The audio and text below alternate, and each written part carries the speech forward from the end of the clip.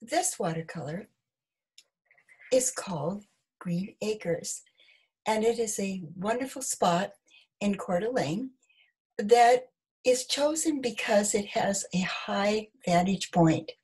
This particular drawing was done from the road on a very dangerous curve and looking up to a high vantage point.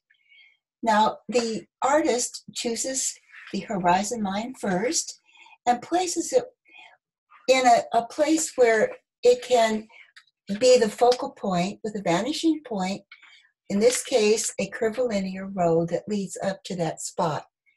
Now, the artist has chosen this place, and the strongest verticals will establish these wonderful little houses. The reinforcing horizontals are the rooftops, and of course, the uh, gentle sloping hills that are in the background. Now, the artist has used a 2B and a double E pencil in order to create the shaded areas here and down in here, in various places under the eaves, lost and found edges. The double E with a little bit of pressure can create a very dark area. This is a linear sketch with shading. And the mountains itself, themselves should be shaded lightly. It's a middle value. The light source coming from the right-hand side and being consistent throughout the entire picture. Now, to begin the plan for this picture, the artist has used a vertical plan and a horizontal plan. These are called thumbnails. They are small little illustrations just with general items and objects to create the uh, decision making qualities that an artist needs to have before deciding whether to do it vertically or horizontally. This picture could go either way. In this case, we're choosing the horizontal because it has more opportunity for the expansion and the addition of these very beautiful trees that are actually over here. And as this picture progresses, the artist will be able to indicate some of the colors this is a wonderful way in which the annotation of color can be, remind the artist for later studio work. Oftentimes, a little sketch like this can actually become a complete drawing. So carefully adding some of the wonderful possibilities. There are bright yellows and oranges on all of these trees. Now notice that these trees are set in perspective. The largest ones here, in the foreground, and then moving towards the middle ground and the background. Also the posts, the fence posts are set in this fashion with vertical strokes. The main idea moving with a traditional perspective flow into the, vari- the horizon and the vanishing point. Now, there are rules of perspective, but the artist begins to choose um, a, a, much easier and better way to work, and that is called freehand perspective. Again, we're placing some of the wonderful colors, these burnt sienna, to remind the artist later on of the colors of these little houses. This is a tool shed in front of the main building, and this is actually the barn. This scene can also be remembered by using another kind of a tool. This drawing tool is a very precise tool and it is actually called a graphite pen it is a permanent marker, permanent pen, and gives many possibilities, particularly for doing these um, metal areas along the fence posts where straight lines are needed, and even for drawing the windmill over here. So we use these kinds of pens that are permanent markers only on drawings where we're very sure of ourselves. Normally, we would not use that kind of a marker on a fine piece of watercolor paper. As we use the the Arches paper for wonderful washes, cool and warm washes, we're very careful not to use any extra kinds of materials, such as um, the marker that I just showed you, or also this kind of thing, which is ink drawing. Now, this is a sepia ink, and it does pretty much the same thing as the marker. It's a little bit more difficult to use as you have to dip in repeatedly. And and using a stick of this nature you could create some wonderful lines and marks. The sepia is my favorite. I much prefer it over the black inks. And here we could do some of the details on the roof now ink is sometimes used on the finished product but again, a purist would be much more careful and much more inclined to just stay with watercolor and not to add the chalks and the inks and the other kinds of markers. Also, we want to preserve the white paper.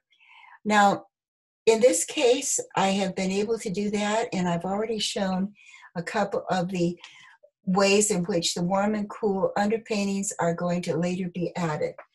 Now, this is a drawing example of the many different materials that can be used in preparation for a full watercolor.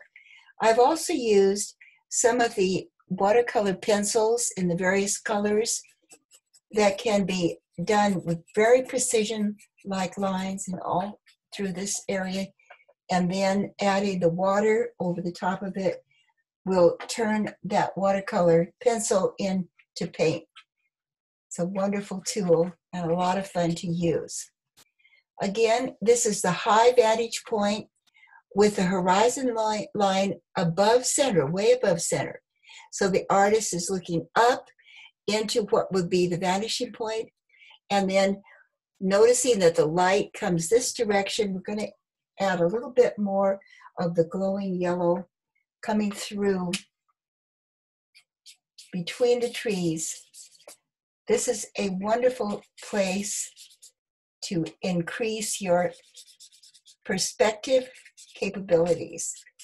Notice that the cast shadows go back in perspective. Notice that there is a continuity of warmth that falls over these various objects, the many different rocks and the various things that are in the foreground. The artist can also add the sprinkles from using a stiff brush to spatter into the foreground. This creates wonderful interest. Even though this is just a drawing, it's a lot of fun to prepare the artist um, that's going to later work in the studio from these sketches, and sometimes we use photographs that will also help us. So this concludes our preparation. The first thing the artist does is to wet the whole paper. And I'm using a wide two inch soft sable brush and the paper is wet first. The second thing we do is to take a broad one inch aquarelle and I'm going to use a cadmium yellow and also a bit of yellow ochre. And I'm going to mix half and half. But also I want to have a bit of warm color in this. So I'm going to add cadmium red and there'll be a bit of a haze on this warm underpainting. This starts at the horizon right over the top of the mountain. And the warmth is going to continue down through the area back in here where there are a lot of weeds. And there will be cast shadows of the warm underpainting coming across the road. Now, as we've always tried to teach, the foreground is very important. And we want to add a little bit more color into the foreground. So I'm going to add burnt sienna in the first washes. Also, we want to add the warm tone over here and across the top where the mountains is going to pick up the sunlight and also a bit on the side of the, the little barns. Now this looks like a very nice beginning for a beautiful place. It's actually an apple orchard and it's near Coeur d'Alene. It's called Green Acres or Green Bluff. Now I'm going to add a bit of the burnt sienna right into this little house because it is a beautiful reddish color. And remembering the lost and found edge, which is so very important. The barn has this as well. And I'm going to add a bit more color here in the foreground. And remembering that the post, the fence post, will pick up the warm tone as well. Now, as the artist proceeds, moving from a larger brush to a smaller brush, we're going to add the cool underpainting. And I'm choosing to use uh, French ultramarine as the sky color. And the artist sometimes just proceeds right on down, touching the cool to the warm. Now, as this happens, the artist can use the bead as it flows downward and adding clouds, leaving a little bit of white in the sky, and moving right on down. All right, sometimes a little bit more color is necessary.